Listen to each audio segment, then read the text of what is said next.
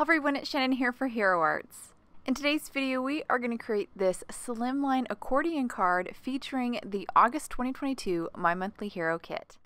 We're going to start by creating our slimline accordion card base. I have a regular 8.5 by 11 sheet of cardstock here, and I'm going to trim down the long side so my cardstock now measures 10.5 by 8.5. Now I'm going to score along the 10.5 side at three and a half on both sides. And my little scoreboard is a little bit too small, so I'm just sliding my paper up here and continuing to score on that three and a half uh, point. Now I'm going to flip my, uh, kind of turn my paper so I can score the other side at three and a half as well. And again, I'll slide my paper up here just so I can continue that score line all the way down. Now I'm going to fold up my accordion card base.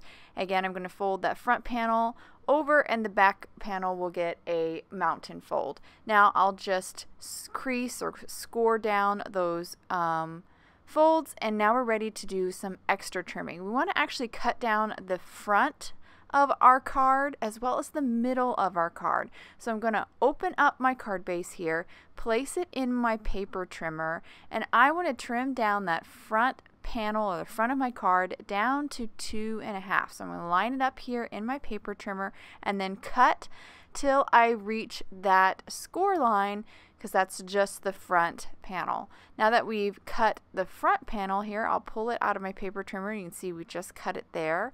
Now we're going to move on to the middle panel and we're going to cut um, this panel down or trim this panel down as well. We want this panel to only be four inches. So again, I'm going to place it here in my paper trimmer and then cut from score line to score line right across there.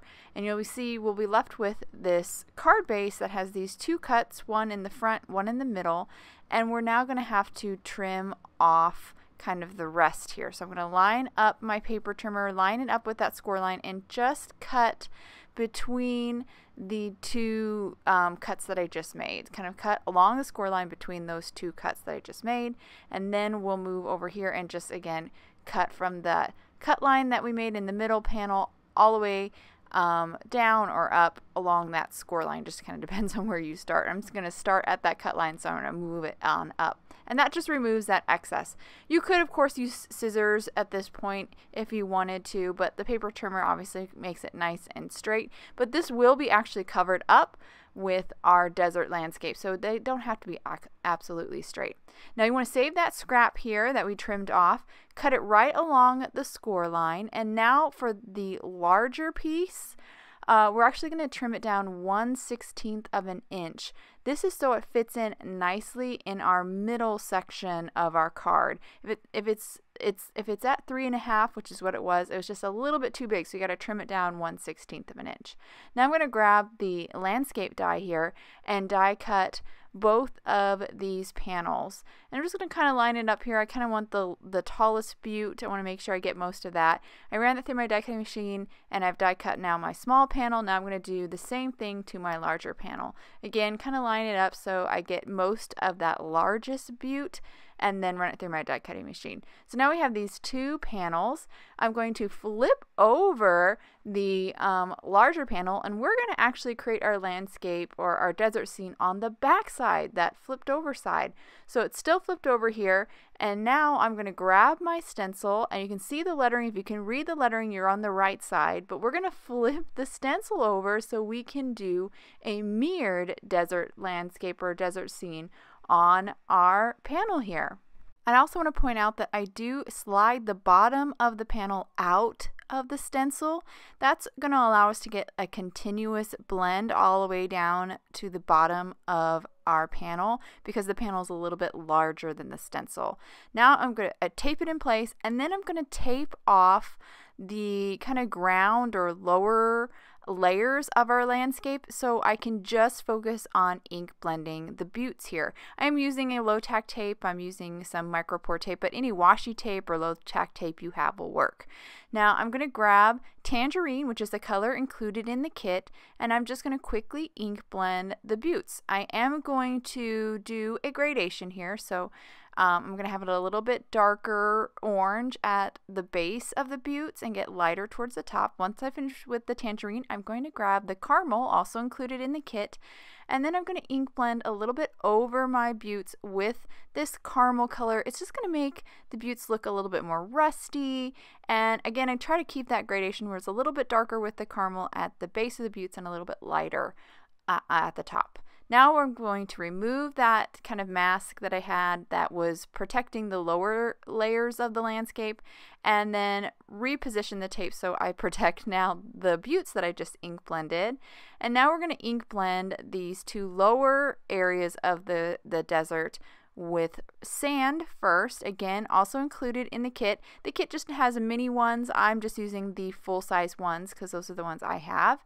And I'm just going to quickly ink blend um, all over the um, remaining portion of this desert scene with this sand color. Again, trying to do a little gradation at each layer.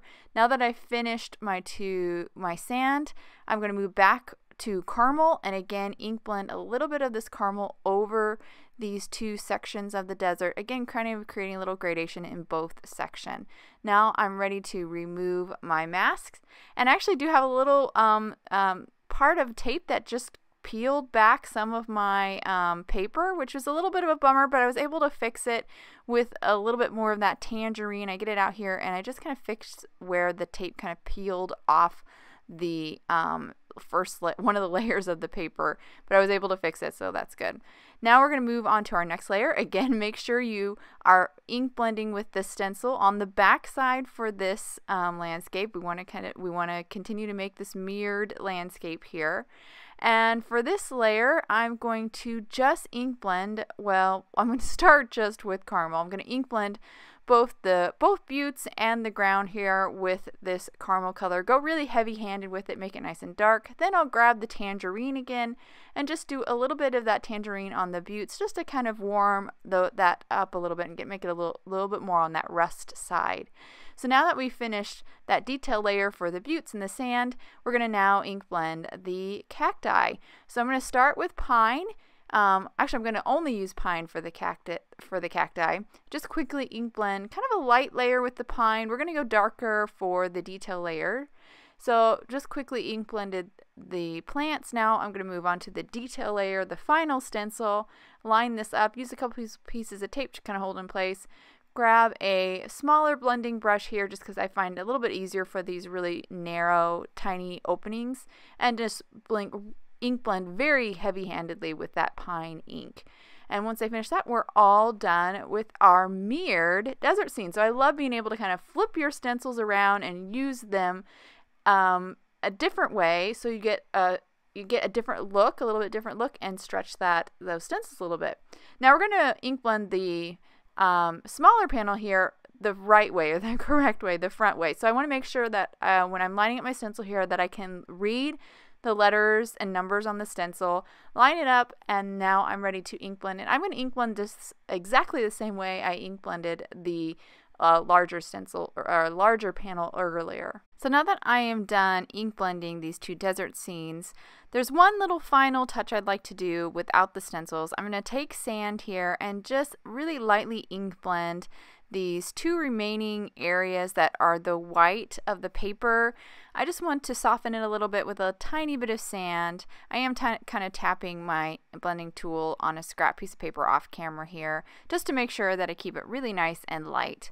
Now that I finished ink blending those white areas, we're now going to move on to ink blending our uh, sky. First, I'm going to just kind of tape off this uh, the middle um, uh, panel here just to protect it. I want to keep it white. And we're going to start by ink blending some lemon drop down on this uh, kind of the middle area of this panel. We don't need to ink blend all the way down to the bottom because you won't see it when the card's folded shut and that leaves a nice place to kind of write your sentiment.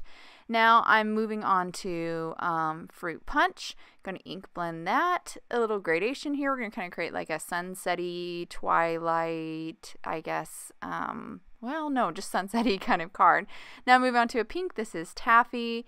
And then we will kind of finish up here with two little, two final inks. First is blue Hawaii. and just ink blend that final little bit there.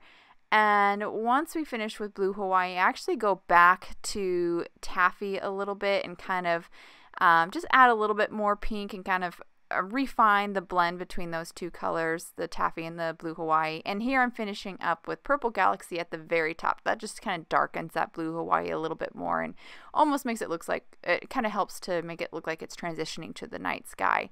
So now that I've finished ink blending that um, kind of sunset sky, I'm now going to move on to actually gluing down my uh, landscape panels. I'm going to start with the front panel, just glue it right down to that um, first section. And then for the middle, we're going to open up our card and glue it right down there. So this card has a, it's going to have a fun look when it's folded up um, in the envelope when the receiver takes it out, but it'll also look really great kind of sitting on your shelf where you can kind of see the, the, the depth of the landscape with the with the when the card's a little bit opened up a little bit more. Now we're going to create a moon here. I have a circle from the Nesting Circles die set. Um, I'm going to ink blend. I die cut it out of some canary cardstock, which is a really light yellow, and then just quickly ink blended it with a little bit of lemon drop and then a little bit of tangerine. These are colors that I both I used earlier for one for the uh, desert landscape and one for the sky. And that just adds some shading so it makes it look more rounded. Now I'm going to just simply adhere this to our um, sky here and it really just pops. It looks so awesome. And then we're going to finish this card by grabbing a sentiment from the included um, stamp set. I'm just going to place this sentiment underneath the moon. Once I get it nice and straight, I'll then pick it up with my MISTI, and then I will ink it up with intensified black ink and stamp it. And after we stamp that, we're actually done with the card here. So I'm going to hold it to the camera so you can get a good look at all the details in this super fun landscape accordion card. You see how our accordion um, opens nicely to reveal a great place to write your sentiment, and it also will fold up beautifully. And on a shelf, it'll look really cool. That you'll it'll add more depth because you can kind of expand it and get more depth between those two layers of the desert and even the sky. I hope you guys enjoyed today's card and video. If any questions about the products I used, please check out the links below in the description. Thank you so much for watching, and I hope you have a wonderful day.